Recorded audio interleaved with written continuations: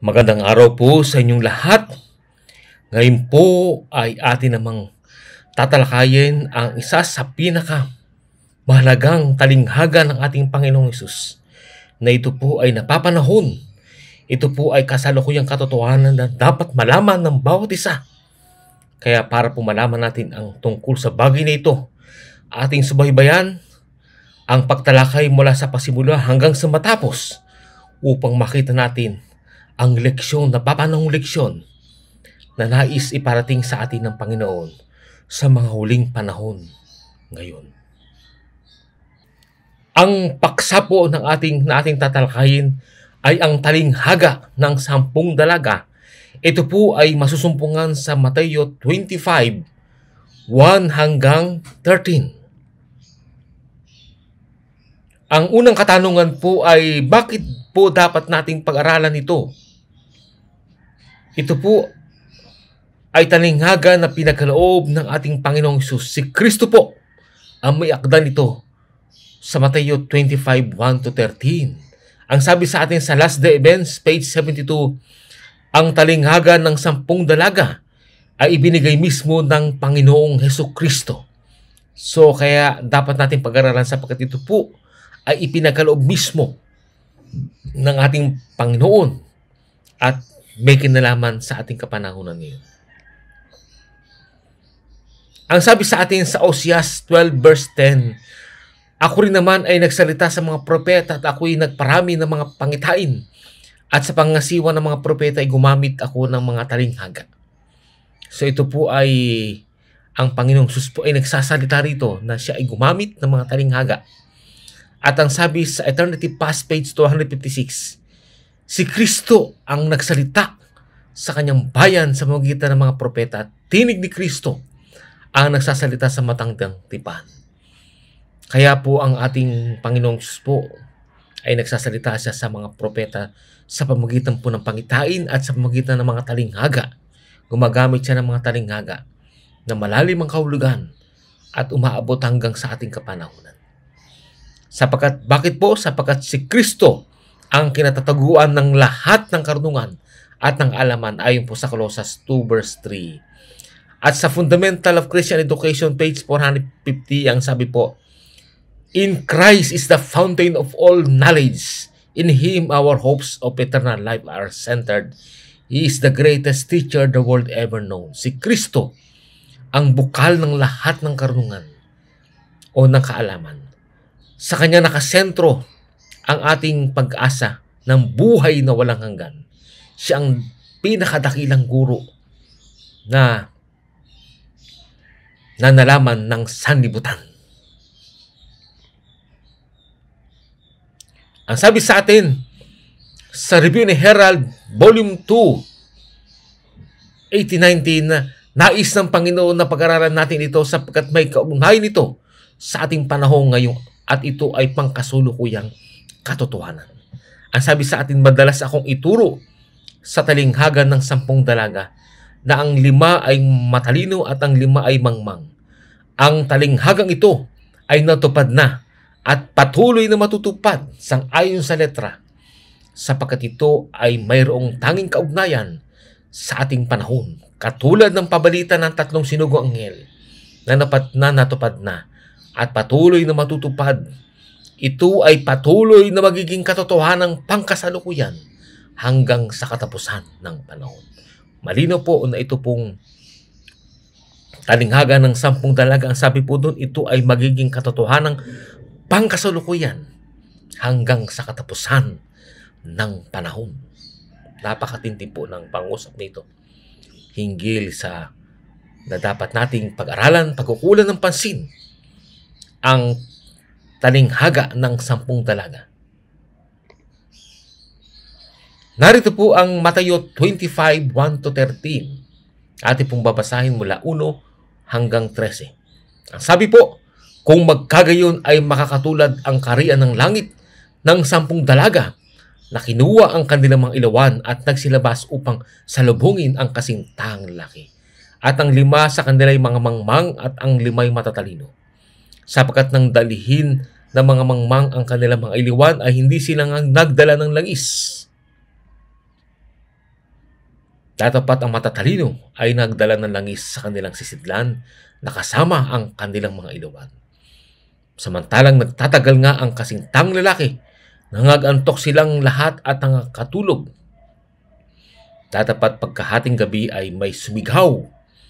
Narito ang kasintang lalaki, magsilabas kayo upang salubungin siya. Na magkagayoy nagsipagbangong lahat ang mga dalagang iyon at pinagigi ang kanilang mga ilawan. At sinabi ng mga mangmang sa matatalino, bigyan ninyo kami ng inyong langis, sapagkat matay ang aming mga ilawan. Tatapat nagsisagot ang matatalino na nagsabi baka sakaling hindi magkasya sa amin at sa inyo. Magsiporon muna kayo sa nangagbili at magsibili kayo ng ganang inyo. At samantalang sila nagsisiparaon sa pagbili, ay dumating ang kasitang lalaki at ang mga nahanda ay nagsipasok na kasama niya sa pagiging ng kasalan at inilapat ang pintuan. Pagkatapos ay nagsirating naman ang ibang mga dalaga na nagsasabi, Panginoon, Panginoon, buksan mo kami. Tatapat sumagot siya at sinabi, katotohanan sinasabi ko sa inyo, hindi ko kayo nangakikilala. Mga puyat nga kayo sapagkat hindi nyo nalalaman ang araw ni ang oras. Ano po ang halaga ng talinghagang ito sa atin? Ang sabi sa Last Day Events Manuscript and Letters, page 72, ang lahat ng mga Kristiyano sa buong sanlibutan ay kinakatawanan ng talinghagang ito. Ang kasitang babae ay bumubuo sa iglesia na nagiintay sa ikalawang pagpapakita ng ating Panginoon at tagapagligtas na si Yeso Kristo. Ang talinghaga ng sampung dalaga ay ibinigay mismo ng Panginoong Yeso Kristo. So ito palang talinghagang ito ay kasangkot ang lahat ng mga Kristiyano sa buong sanibutan. At yung kasintang babae ay tumutukoy pala sa Iglesia ng Diyos na naghihintay sa ikalawang pagpapakita ng ating Panginoon at tagapagligtas na sa Yeso Kristo. Ang sabi sa atin sa Review Herald Volume 4, 1010, bawat detalye na kinakatawanan ng talinghagang ito ay narapat na maingat na pag-aralan Dumarating ang panahon na ang pintuan ay sasara. Tayo ay kumakatawan alinman sa matalino o mangmang na mga dalaga. Napakalino po ang pagkakamagit po rito. At ang, ang sabi po doon, ayon sa talingaga sa Matthew 25 verse 5, sinasabing, samantalang nagtatagal nga ang kasintang lalaki, ay nagaantok silang lahat at nakakatulong. Saan po kumakatawan ang sampung dalaga na may mga dalang ilawan? Ang sabi po sa atin sa isang aklat po sa sa Review Herald August 19, 1890 ang sabi po sa talinghaga ang sampung mga dalaga ay may dalang ilawan na ang lima sa kanila ay may nagliligtas na langis upang manatiling nagniningas ang kanilang ilawan. Ito ay kumakatawan sa kalagayan ng iglesia ang pantas at ang mga mangmang ay may dalang mga Biblia at pinagkalooban ng lahat ng mga paraan ng biyaya. Subalit marami ang hindi pinahalagahan ang katotohanan na dapat sila ay magkaroon ng makalangis na langis. Hindi sila tumugon sa paanyaya. Magsiparito sa akin kayong lahat na nangpapagal at nangagbibigat ang lumpa at kayo aking papagpapahingin. Pasanin ninyo ang aking pamatok at mag-aral kayo sa akin sapagkat ako'y maamo at mapagpakumbabang puso at pasumpungan ninyo ang kapahingahan ng inyong mga kaluluwa sapagkat malambot ang aking pamatok at magaan ang aking pasan. Ayun po ay sa Mateo 11, 28-30, Revine Herald, August 1980 So ang mga mangmang palang mga dalaga ay tumutukoy sa hindi sila tumugon sa paanyaya ng Panginoon. Yung paanyaya ng Panginoon na nais niya na magsiparito tayo sa, sa Kanya. At pinitulutan natin siya makapasok sa ating buhay at manahan sa atin. Yun po yung mga mangmang na mga dalaga. Ano po ang kahulugan ng pagkakatulog? Ang sabi sa Review Herald Volume 2, 273, December 18, 1888, ang kapangliban ng manguling araw ay nasa atin na ngayon. tayo ay nangatutulog at ang ating mga ilawan ay nawawalan na ng langis. Kailangan na natin ngayon ang ganap na pagtatalaga, ang malalim na papapasakop sa gawain ng Diyos. Ipinakita sa akin ng Panginoon ang mga kabulukan na namamayani sa ating kalagitnaan bilang mga Adventista del Septimo Dia. Makikita po rito na marami sa mga kanipo ng Adventista del Septimo ay natutulog at nawawalan na ng langis ang kanilang iliwan. At kailangan na natin ngayon ng ganap na pagtatalaga ang malalim na pagkapasakop sa gawain ng Diyos. Ang sabi sa atin, ano ang sasabihin ko upang gisingin ang nalabing bayan ng Diyos? Ipinakita sa akin ang mga nakatatakot na mga tanawing kinakaharap natin. Si Satanas at ang kanyang mga anghel ay dinadagdagan ang lahat nilang kapangyarihan upang pamanaigan at lupigin ang bayan ng Diyos. Alam niya na kung nakakatulog, nakakatulog pa sila ng ilang sandali, siya ay makatitiyak ng kapamakan para sa bayan ng Diyos. Ito po ay sa Testimony Volume 1, 263. So dito po ay makikita natin na ipinakita po ipinakita po sa pangitain sa, ng Panginoon kay Ellen G. White na ang nalabing bayan ng Diyos ay ano po, ay natutulog. At ipinakita, sabi po rito, ang mga nakatatakot ng mga tanawing kinakarap nila. Si Satanas at ang kanyang mga anghel ay dinadagdagan ang lahat niyang kapangyarihan upang papanayigaan at lupigin ang bayan ng Diyos. Alam niya na kung mga katutulog pa sila ng ilang sandali, sabi po doon, siya ay makatitiyak ng kapamakan para sa bayan ng Diyos. So kung magpapatuloy po sa pagkakatulog, pagkakahimbing ang bayan ng Diyos, ay mapapahamak sila kapag naabutan po sila ng pagkasara ng pinto ng awa at ang katapusan ng tinatawag na yung paghukom para sa mga para sa mga buhay. Ang matindi po rin yung tinatawag na investigative judgment for the living na kung saan kasalukuyan po nagpapasimula po at hinahatulan ang mga ang mga buhay. At ang isa po po ay ang sabi po sa atin sa last the events, page 78, sa letters 86, June 18, 1900, isang malaking pagliliglig ang magaganap. Ang nagpapanggap na mananampalataya sa katotohanan para sa panahon ito ay pawang nangatutulog. Kaya po sa panahon ng habang nangatutulog po ang mga ang iglesia ng Diyos ay magkakaroon isang paglilig yung tinatawag na shaking. Ito po ay yung tinatawag nating ang pagliliglig mong ito ay ito ay yung reformasyon na magaganap sa loob ng iglesia. At ang sabi sa Review ni Herald Volume 2, 371, 1890, ang mga nahihimbing na iglesia ay nararapat na magising. Magising muna mula sa malalim na pagkakaidlip upang makatotohanang alamin ang kanyang mga mahalagang kapanagutan ng, ng matagal ng napabayaan. Yan po. Sa Review ni Herald, Volume 2, 371, 1890. Ang sabi sa Testimony, Volume 2, 337, mga lalaki at mga babae ay nasa huling oras na ng palugit na panahon. Subalit sila ay nagwawalang bahala at matitigas ang mga ulo at ang mga ministro ay walang kapangyarihan upang gisingin sila sa kanilang pagkakatulog. Mga tulog na mga ngaral, nangangaral sa mga kapa na tutulog ng mga tao. Kaya ito po ay nakakalungkot na tanawin na mga tulog na mga ngaral nangangaral sa mga kapa na tutulog ng mga tao ito po yung sleeping pastors and members. Bakit po nangatutulog? Kasi ang mga pastors preach falsehood and members believe in their falsehood.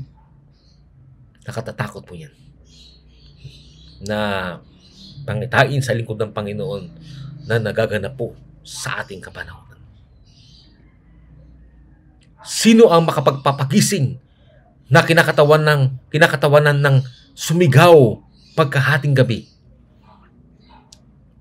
Ang sabi sa atin sa isang aklat, ito po sa L Writings Tagalog, 298 hanggang 299 ang sabi po. Ipinadala ang mga anghel sa mga mapagpakumbaba at mga natatalagang mga tao. Pinilit silang ilakas ang sigaw. Ano pong sigaw nila? Narito ang kasintang lalaki. Magsilabas kayo upang salubungin siya. Iyong mga pinagkatiwalaan ng sigaw ay nagmadali at sa kapangyarihan ng banal na espiritu ay pinataginting ang pabalita at pinukaw ang mga kapatid nilang nasiraan ng loob. Ang gawain ito ay hindi tumindig sa pinag-aralan ng tao, kundi sa kapangyarihan ng Diyos. At ang kanyang mga banal na nakarinig ng sigaw ay hindi malabanan ito. Ang pinakama-espiritu ang unang tumanggap ng pabalitang ito at yung mga dating nanguna sa gawain ang huling tumanggap at tumu- tumulong sa pagpapalaghanap ng sigaw. Kaya tumutukoy po ito sa mensahe ng reformasyon na ipinagkakaloob ng Diyos upang gisingin ang natutulog o tumatalikod na bayan ng Diyos. Kaya ito po ay nagkaroon ng kaganapan noong 1994 na magkaroon ng malawakang reformasyon sa buong salibutan at nagpapatuloy hanggang sa ating kapanahunan ngayon.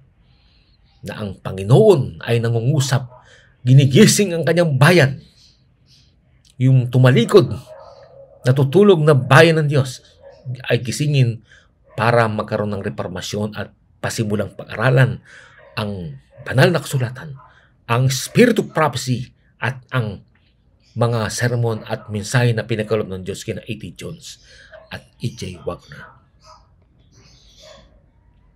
Ano ang magawain ng mga kumakatawan sa sumigaw sa ating gabi? Ano ang magiging tugon sa kanila ng iba? Ang sabi sa Testimony to Ministers 233, hindi ito ang panahon para sa mga sugo ng Diyos upang huminto at humingi ng suporta doon sa mga nakakaalam ng katotohanan at mga nanguna sa karapatan ng paglingkod sa Diyos. Itataas ng mga sugong ito ang pamantayan at magbibigay ng babala. Narito ang kasintahang lalaki dumarating, magsilabas kayo upang siya ay salubong. Una po, itataas ng mga sugong ito ang pamantayan. Kaya yung may mga standards, kalimbawa po ng pamantayan yung health reform, dress reform, at sari-sari pang mga reformasyon, mga reform, ay itataas yung pamantayan at magbibigay ng babala. At ang kanilang babala po ay narito ang lalaki dumarating magsilabas kayo upang siya ay salubungin. Kaya tayo ay pinapalabas upang salubungin natin, upang pumaroon tayo sa ating sa ating Panginoong Kristo. Sabi po po sa Testimony to Ministers, page 233, marami sa nakar- nakakarinig ng pabalitang ito ay hindi papahalagan ang solemneng babala. Marami pa lang hindi magpapahalagan sa reformasyon na ito, marami sa kanila ay hindi mga susumpungang hindi sumusunod ng tapat sa kausan ng Diyos na isang subukan ng kanilang mga likas at mga pag-uugali. Ang mga lingkod ng Diyos ay tatawaging mga porsigido. Ang mga ministro ay babalaan ang mga tao na huwag makikinig sa kanila. Kaya po, yung mga lingkod ng Diyos na nagbibigay ng mensahe ng reformasyon ay tatawaging mga porsigido at ang mga ministro naman, mga pastor ay babalaan ang mga tao na huwag makikinig sa kanila. Sino po yung kasintang lalaki sa talinghaga? Ang sabi sa Adventist Home 26, ang sabi po nun, siya, si Kristo, mismo ang kasintang lalaki. Ang kasintang babae ay ang iglesia. So ang ating Panginoong so Kristo pala po yung kasintang lalaki at ang sabi sa atin sa Great Controversy 426 at saka sa Christ in His Heavenly Sanctuary 104, ang sabi po, ang pagdating ni Kristo bilang ating dakilang saserdote sa kabanal-banalan dako para sa paglilinis ng sanktuaryo. Daniel 8.14, Daniel 7.13 ay kumakatawang sa pagdating ng kasintang lalaki sa kasalan inilarawan ni Kristo sa talinghaga ng sampung dalaga ng Mateo 25. Kaya malino po ang ating Panginoong Kristo po ang kumakatawan sa kasintang lalaki. At sa Christ Object Lesson, page 420, yung mga magsisalabas upang tagpiin ng kasintang lalaki ay ibinibigay ang mensaheng ito. Isaiah 60 verse 1. Si Kristo ay dumarating na may kapangyarihan at dakilang kalulatian. Siya ay dumarating kasama ang kanyang sariling kalulatian at kalulatian ng ma. Siya ay dumarating kasama ang kanyang mga anghel. Samantalang ang buong sanibutan ay nasusugba sa kadiliman, ay may malinaw ay may liwanag sa bawat tahanan ng mga banal, masasalo nila ang unang liwanag ng kanyang ikalawang pagparito. Ito naman po ay ang, yung sa pagparito ng Panginoon na ang pagparito ng Panginoong Heso Kristo. Siya po ay kumakatawan bilang kasintang lalaki na darating dito po sa lupa.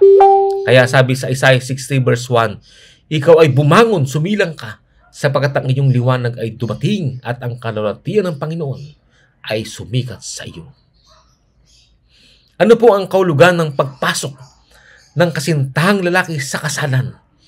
Ang sabi sa Great Controversy Tagalog 346 to 347, ang pagpasok ni Kristo sa tungkuling dakilang saserdote sa kabanal-banal dako upang linisin ang sanktuaryo na ipinakikilala sa, sa Daniel 8.14. Ang paglapit ng anak ng tao sa matanda sa araw gaya ng pinakikilala ng Daniel 7.13 at ang pagpaparoon ng Panginoon sa kanyang templo na ipinagpauna ni, ni Malakias, Malakias 3 verse 1, ay pawang naglarawan ng iisang pangyayari at iya'y pinakikilala, pinakikilala rin naman ng pagpasok ng kasintang lalaki sa kasalan na inilarawan ni Kristo sa talinghaga tungkol sa sampung dalaga.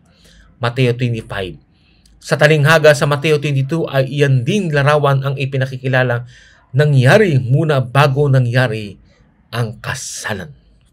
So malinaw po na ang pagpasok pala ng ng kasintang laki sa kasalan, sa kasalan ay ito po ay yung pagpasok ng Panginoon sa most holy place sa kabanal-banalan dako noong 1844. Pansinin po, Malino po ng pagpasok ng kasintang lalaki sa Mateo 25 ay kapareho ng talinghaga sa Mateo 22 ayon sa Great Controversy Tagalog 346, 347.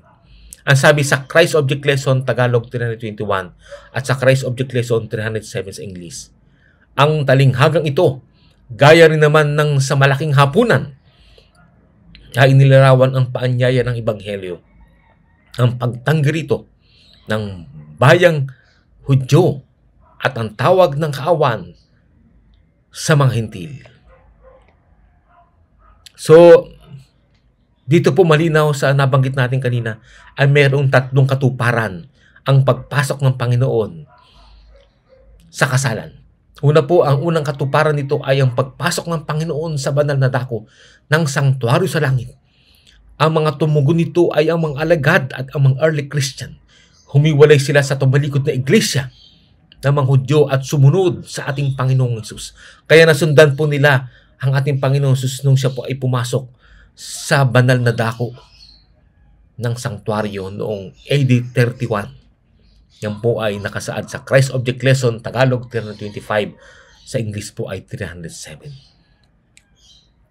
Kaya yan po ang unang katuparan po nito kung saan ang mga unang ang mga alagad po ng unang panahon at mga early Christians ay nagsilabas sila mula sa mga naguhong iglesia, mula sa iglesia ng mga Hudyo, yung tumalikod na iglesia ng mga Hudyo at sumunod sila sa ating Panginoong Iso Kristo at nasundan nila ang Panginoon sa pagpasok doon sa banal na dako ng sanctuary sa langit. Ang ikalawang katuparan naman po nito ay ang pagpasok ng Panginoon sa kabanal-banalan dako ng sanktuaryo ng langit kung saan pinasimulan ni Kristo ang pagsisiyasat na paghukom noong 1844. Sa dalawang yugto nito, pagsisiyasat na paghukom sa mga patay at pagsisiyasat na paghukom sa mga buhay. Great Controversy Tagalog 346 hanggang 347. Bago maganap ito, nanawagan ang Panginoon na magsilabas sa mga tumalikod ng mga iglesyang protestante mula una at ikalawang anghel ng Apocalypse 14 upang sumunod sa Panginoong Isus. At yung mga sumunod po, yung mga humiwalay mula sa mga iglesia protestante noong unang panahon. At sumanib sila sa tinatawag nating yung Advent movement na, na nakalaunan ay naging Seventh-day Adventist. Ito po yung tumugon sa panawagan na kung saan ang pang, nakasunod sila na subaybayan nila ang pagpasok ng Panginoon sa most holy place sa sanctuary sa langit noong 1844. At yan po ang ikalawang katuparan ng Mateo 20, 25. At ang ikatlong katuparan naman po ito ay tinat at tinatawag na pangwakas na katuparan nito ay ang ikalawang pagparito ng Panginoon sa mga lapap ng langit. Bago maganap ito, mananawagan muli ang Panginoon ng paglabas sa mga nominal na Adventista at mga naguhong at mga iglesyang naguho, lahat ng mga kilalang iglesia ngayon, na lumabas sa mga ito at pumaroon sa Kanya. Christ Object Lesson 420. Ito po ang tinatawag na mensahe ng ikatlong anghel ng Apocalypse 14 at mensahe ng ikaapat na anghel ng Apocalypse 18 o yung tinatawag na malakas na sigaw ng ikatlong anghel. Ang panawagan na ito ay iminigay sa nagpapanggap ng mga Seventh-day Adventists noong 1994 hanggang sa ating kapanahunan ay ibibigay naman ang iba pang mga ang iba pang ang ibibigay naman ito sa iba pang mga iglesia sa takdang panahon na inilatag ng ating Panginoong Jesus. So yan po ang tinatawag nating ikatlong katuparan o pangwakas na katuparan ng pagkakaloob ng mensahe ng talinghaga ng Mateo 25. At ito po ay kailangan tumugon tayo sa panawagan na ito at sa Panginoong Sus tayo. Sapagkat ang Panginoong Sus ay doon tayo papanig pag lumabas tayo sa mga sa mga naguhong iglesia, sa mga nominal Adventista at mga naguhong iglesyang naguho. Lahat ng mga kilalang iglesia ngayon, sa Panginoon tayo paparoon at sa Kanya tayo magtitiwala. Siya lamang ating pagtitiwalaan ng lubusan. At wala po tang ibang iba pang mapapagkakatiwalaan sa panahon ngayon. Liban na lamang sa ating Panginoong Heso Kristo. Saan po kumakatawan ang ilawan? Ang sabi sa atin sa Christ Object Lesson, Tagalog 442 sa Christ at sa English po ay 404, 406 hanggang 407. Sa talingaga, ang sampung dalaga ay may mga iliwan. Subalit lima lamang ang sa kanila ang nagtataglay ng nag, nagliligtas na langis na siyang nagpapanatili ng liyab o ningas sa kanilang mga ilawan. Ang talinghagang ito ay kumakatawan sa kalagayan ng iglesia ang mga ilawan ay kumakatawan sa salita ng Diyos. So yung palang ilawan na kanilang daladala, ito po ay kumakatawan sa salita ng Diyos. Saan po kumakatawan ang nagliligtas na langis? Ang sabi sa review ni Herald, Volume 3, 133, 1894. Simple at hayag ang kinakatawanan ng ilawan. Subalit ang ilawan ay walang kabuluhan kung ito ay walang langis ang panloob at spiritual na langis ng biyaya ni Heso Kristo ang nagbibigay buhay sa kaluluwa. Ano po ba, saan po ba kumakatawan yung, yung panloob at spiritual na langis? Kumakatawan po ito sa biyaya ni Heso Kristo. Sa tinatawag nating the grace, yung biyaya na pinagkakalob ng Panginoon doon sa sumasampalataya sa Kanya. At ang sabi sa Testimony to Ministers 233 hanggang 234, ang langis na ito ay ang katuwiran ni Yeso Kristo. Kumakatawan ito sa karakter at ang karakter na ito ay hindi maaaring isalin sa iba. So kapag ang biyaya ng Panginoon ay pinagalob sa atin sa pagitan ng ating pagsampalataya sa Kanya, yung biyayang ito ay magtatagumpay tayo at ipapagkaloob naman ng Panginoon ang kanyang karakter, yung kanyang katwiran. Ipagkakalob sa atin at aalinsunod tayo ng sakdal sa mga alituntunin ng Panginoon sa magitan ng sakdal na pagsunod sa lahat ng mga utos at mga tukbilin ng ating Panginoon. Malino po na ang ilawan ay kumakatawan sa salita ng Diyos. Ito po ay ang Bible Spirit of Prophecy at Faith of Jesus. Bible, Espiritu Prophecy, ito po ay mga writings na ipinagalob ng mga mensahe na pinagalob ng Panginoon kay Ellen G. White. At yung Faith of Jesus naman po, ito po ay mga mensahe, mga sermon na pinagalob ng Diyos kina A.T. Jones at E.J. Wagner. Dito po kumakatawan yung yung yung yung iliwan. At ang nagliligtas na langis naman ay kumakatawan sa biyaya at katuwiran ng ating Panginoong Jesus. Review ni Herald Volume 3, 133, 1844 at Testimony to Ministers 233. Ang sabi sa atin, ang ating kaligtasan ay nakasalalay sa ating Panginoong Jesus. Ang sabi sa Review Herald, April 15, 1884, ang biyaya ni Kristo ay ang tangi nating pag-asa ng kaligtasan. Kaya yung langis, yung nagliligtas na langis, ito po ay yung biyaya ni Kristo na ang tangi nating pag-asa ng kaligtasan. Ang sabi sa atin sa Review Herald, March 22, 1898, pananampalataya kay Kristo ay ang ating nag-iisang pag-asa ng kaligtasan. Ang gawain ng bawat tunay na Kristiyano ay ang ilagay si Kristo at siya na napako. Napaka-importante po yun na ang gawain ng bawat tunay na Kristiyano ay ilagay si Kristo at siya na napako. Sapagkat yan po ang passport natin papuntang langit. Ito po yung tinatawag nating password. Si Kristo at siya na napako.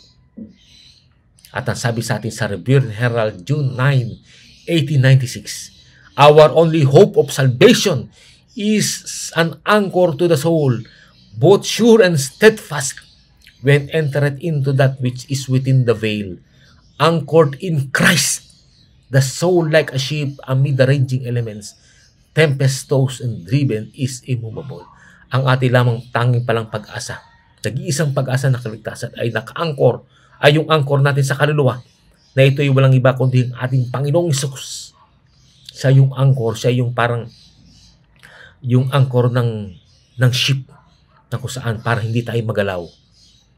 Ito ay walang iba kundi ang ating Panginoong Heso Kristo. Sa review ni Herald July 9, 1908, ang sabi po, ang ating nag-iisang pag-asa ng kaligtasan ng ating mga kaluluwa at ang pagtulong sa iba upang maligtas ay ang tanggapin ang katuwiran ni Kristo. Napakalaga po nating tanggapin ang katuwiran ni Kristo sa magitan ng pananampalataya. Dapat na dapat nating sampalatayan, dapat tayong manalig sa ating Panginoong Jesus na kaya niyang baguhin tayo, na kaya niyang iligtas tayo, na kaya niya na tayo i-transform ang ating buhay at gawin tayong masunurin sa lahat ng mga utos ng Panginoon. Kaya ang sabi po rito, ang nag-iisang pag-asa ng, ng kaligtasan ng ating mga kaluluwa ay ang tanggapin ang katwiran ni Kristo.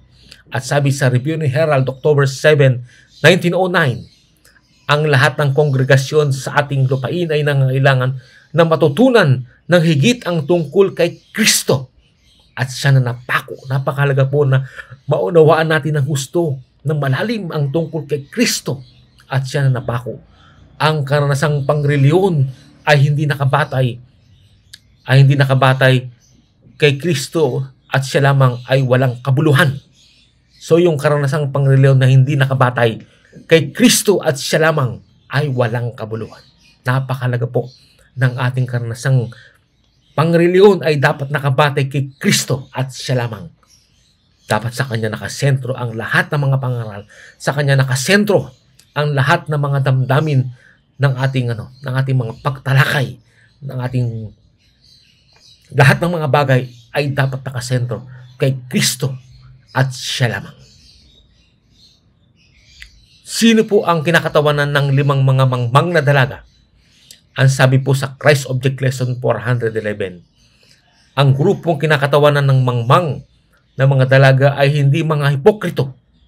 Mayroon silang mga pagpapalaga sa katotohanan ipinagtatanggol nila ang katotohanan. Naakit sila doon sa mga naniniwala sa katotohanan. Subalit hindi nila ipinasakop ang kanilang mga kabuhayan sa pamanguna ng banal na espiritu.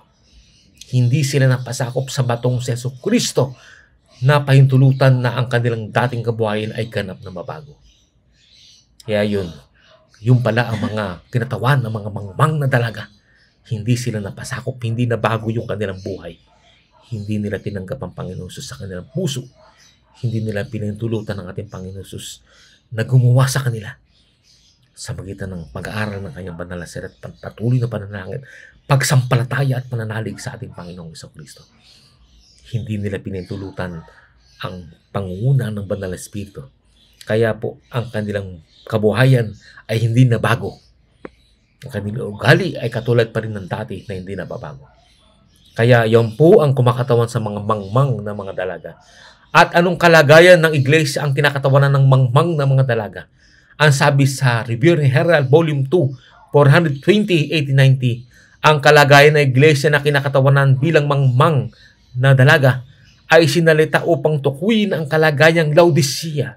Ito pala yung tinatawag na Iglesia Laodicea. Yung po ang yung po ang tumutukoy sa mga mangmang na dalaga. Sabi sa Review ni Herald Volume 2, 419, ang mga mangmang na dalagang ito na siyang Laodicea. Yan po. Ang siyang pinaka-epektibong mga ehente ni Satanas. Bakit pinaka-epektibo? Kasi nagpapanggap sila na sila ay tunay na bayan ng Diyos. Sila nagsasabi na sila ay sila ay mga mga Adventista. Sila ang tunay na bayan ng Diyos. Subalit, hi, ang kanilang kabuhayan ay hindi hindi nagpapakita na sila ay tunay na Adventist. Ang tawag po dito ay mga mangmang na dalaga na siyang pinaka-epektibong mga ehente ni Satanas. Sino po ang kinakatawanan ng matalinong mga dalaga? Ang sabi sa Signs of the Times, June 28, 1910, ang limang matalinong dalaga ay kumakatawan doon sa mga nagpasakdal ng kristyanong pag-uugali na nagsipaghugas ng kanilang damit at pinaputi sa dugo ng kortero. Yun naman po yung kinakatawanan ng matatalinong dalaga. Ano po? Pinasakdal yung kanilang kristyanong pag-uugali. At nagsipaghugas sila, hinugasan nila ang kanilang damit at pinaputi sa dugo ng kordero. Napakalaga sa kanila yung, yung dugo ng ating Panginoong Iso Kristo. Ang Panginoong Iso Kristo ang naghahari sa kanilang buhay. Pinapasok nila at nakasentro ang kanilang buhay sa ating Panginoon. Ang, ang kanilang bukang bibig ay Christ and Him crucified si Kristo at siya ng pako. At lahat ng mga bagay umiinom sa ating Panginoong Iso Kristo. Yan po ang mga kinakatawanan ng mga matatalinong mga talaga ayon sa Signs of the Times, June 28, 1910. At ang sabi po, sa Signs of the Times, June 28, 1910, ang mga matatalinong dalaga ay ang mga tumanggap at tumugon sa pabalita ang kanilang spiritual na pangunawa ay hindi nawala. Sila pala yung tumugon sa pabalita ng reformasyon. Tumanggap sila, tumugon sila sa pabalita ng Ebanghelyo. At ang kanilang spiritual na pangunawa ay hindi nawala. At ang sabi pa po sa Testimony to Ministers 233 hanggang 234, ngayon ang panahon upang pakitunguan ang kaluluwa na hindi lamang nila mapalagahan ang salita ng Diyos, subalit dapat na walang had, paghadlang na sikapin nilang mapuno ng langis ang kanilang mga sisidlan ng ilawan. Ang langis na ito ay ang katwiran ni Yeso Kristo. Kumakatawan ito sa karakter at ang karakter na ito ay hindi maaring isalin sa iba. Napakatindi po nito. Ang langis na ito ay ang katwiran ni Kristo ang katwiran ni Kristo po ay tumutok po yan sa sakdal na pagsunod sa mga ugali ni Kristo na ang dagawa ng biyaya ng ating Panginoon sa atin. Kumakatuan ito sa karakter. At ang karakter na ito ay hindi maaaring isalin sa iba. Ang sabi sa atin, sa review ni Herald Volume 2, 464, hindi tayo inililigtas ng sekta. Walang pangalan na ang anumang denominasyon ang may kapangyarihan upang magdala sa atin sa paglingap sa Diyos. Tayo ay inililigtas ng isahan bilang mga manampalataya sa ating Panginoong Iso Kristo. Sa biyaya, kayo'y nangaligtas sa magitan ng panampalataya at ito'y hindi sa inyong sarili. Ito'y kaloob ng Diyos. Maring ang ating pangalan ay nakatala sa pinaka-reliyosong mga iglesia subalit maaaring hindi makabilang kay Yeso Kristo at ang kanilang mga pangalan ay maaaring hindi nakasulat sa aklat ng buhay ng Kordero. Kaya tayo member pa ng ng ng ng iglesia, yung pinaka pinakarelyosong iglesia. Ngunit maaaring hindi tayo makabilang, hindi nakasulat ang ating pangalan sa aklat ng buhay ng Kordero sapagkat hindi po ang denominasyon ang makapagliligtas sa atin. Ang makapagliligtas sa atin ay walang iba, kundi ang Panginoong Iso Kristo, ang manampalataya sa Panginoong Iso Kristo. Yan po ang makapagliligtas po sa atin. Kaya sabi po doon sa isang larawang ito, Jesus Christ is the only way to heaven. Ang Panginoong Sus lamang ang tanging daan para po tayo ay maka, makaparoon sa langit. Ang sabi sa our high calling, page 278 at nasa Review Herald din po yung volume 1, 543, 1885. Ang sabi po, sa pagbalik ng Panginoong Heso Kristo, ang ating mga katawang may kapintasan ay babaguin at gagawing tulad ng kanyang malawalahating katawan. Subalit ang likas at pag-uugali na may kapintasan ay hindi mababago sa panahon iyon. Ang pagbabago ng karakter ay dapat maisagawa bago siya muling bumalik. Ang ating mga likas ay dapat maging dalisay at banal. Kinakailangan magkaroon tayo ng pag-iisip na na kay Kristo upang siya ay makatingin sa atin na may pagsang-ayon sa pagkakahayag sa ating mga kaluluwa. Anong sabi po sa atin? Ang pagbabago ng karakter ay dapat maisagawa bago bumalik ang ating Panginoong Iso. At kinakailangan magkaroon tayo ng pag-iisip na kay Kristo upang siya ay makatingin sa atin na may pagsang-ayon sa pagkakayag sa ating mga kaluluwa. Narito po ang panawagan ng ating Panginoong Heso Kristo. Ang sabi niya sa Apocalypse 18 verse 4, At narinig ko ang ibang tinig na mula sa langit na nagsasabi, Magsilabas kayo sa kanyang bayan ko upang huwag kayong mga ramay sa mga kasalanan at huwag kayong magsitanggap ng kanyang mga salot. Ang panawagan ng Panginoon ngayon, magsilabas tayo sa mga iglesyang natutulog, sa mga iglesyang nag-apostasize o tumalikod sa pananampalataya. Mga iglesia na hindi nanindigan sa panig ng Panginoon at hindi nang hawak sa mga sa mga mensahe ng pinagkaloob ng Diyos sa mga sulat ni Ellen G. White at mga mensahe na pinagkuloob ni A.T. Jones at E.J. Wagner at hindi nanindigan sa mga maliliwanag na mga katotohanan ng banal na kasulatan. Nanawagan ang ating Panginoon. Sumisigaw ang ang mga sugo ng Panginoon na magsilabas kayo sa Kanya.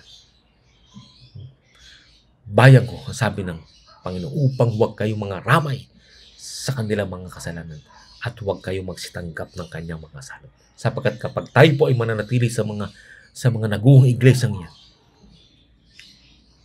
tayo po ay mga raramay na mga kasalanan at mga maling aral na itinuturo ng mga iglesia sa panahon ngayon. Ito po ay halos lahat ng iglesia po ito. Ang tinutukoy po natin dito ay halos lahat ng organized churches na nakatatag sa ating kapanahon ngayon ay mga nagho at tumalikod sa ating Panginoon. Kaya ang panawagan ng Panginoon magsilabas. At pag nagsilabas po tayo, saan tayo pupunta? Ang pupunta natin ay walang iba, kundi ang ating Panginoong Iso Kristo. Si Jesus Christ po ang ating pupuntahan at magpapasakop tayo sa Kanya, susunod tayo sa Kanya, saan man siya pumaroon. Sapagkat nasa Kanya ang kaligtasan, nasa Panginoong Sus, ang tanging kapanatagan at katiwasayan ng buhay.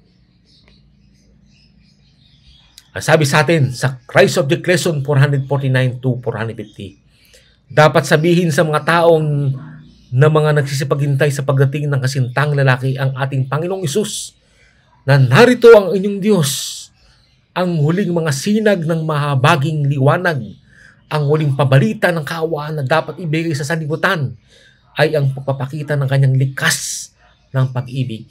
Dapat ipakita ng mga anak ng Diyos ang kanyang kalulatian. Dapat nilang ipakita sa kanilang likas at kabuhayan ang nagawa sa kanila ng biyaya ng Diyos. ang liwanag ng araw ng katwiran ay dapat magdingning sa mabubuting gawa sa mga salitang katotohanan at mga gawang kabanalan. Kaya po ang huling, ang huling sinag po ng mahabaging liwanag, ang huling pabalita ng kaawa na dapat ibigay sa sanlibutan ay ang pagpapakita ng kanyang likas ng pag-ibig. Sapagkat pag tayo po'y pakukup sa Panginoon, magbabago ang ating buhay. Ang Panginoon ang magbabago ng ating buhay. At aasa na lamang po tayo sa Kanya. Sa Panginoon sa tayo aasa ng mga mensahe na Kanyang pinagkakaloob. Direkta po tayo sa dalisay na katotohanan na pinagkakaroon ng Panginoon sa magitan ng Bible, Spirit Prophecy at mga mensahe na pinagkaloob ng Panginoon kay A.T. Jones at E.J. Wagner.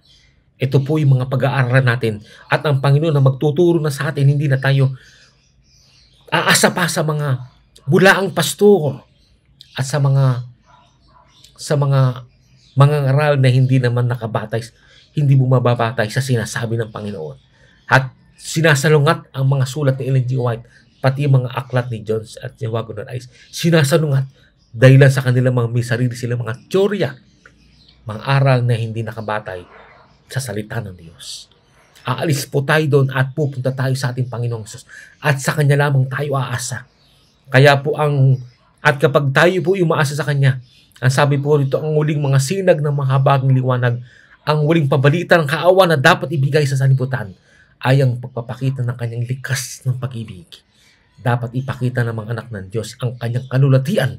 Dito po magkakaroon ng pagbabago sa ating buhay. At ang Panginoong Sus ay mahayag sa ating mga ugali. Ang sabi po dapat nilang ipakita sa kanilang likas o karakter at kabuhayan ang nagawa sa kanila ng biyaya ng Diyos.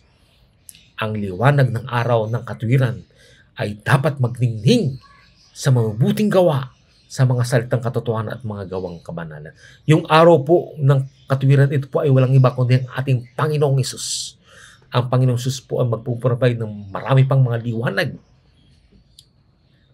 na dapat magningning sa magitan ng mga mabuting gawa at mga salitang katotohanan at mga gawa ng kabanalan. Sana po sa ating mga ipinakita po ngayon ang nagbigay po sa atin ito ng inspirasyon na kailangan natin tumugon sa panawagan ng reformasyon. Hiwalayan ang mga dati nating makasama.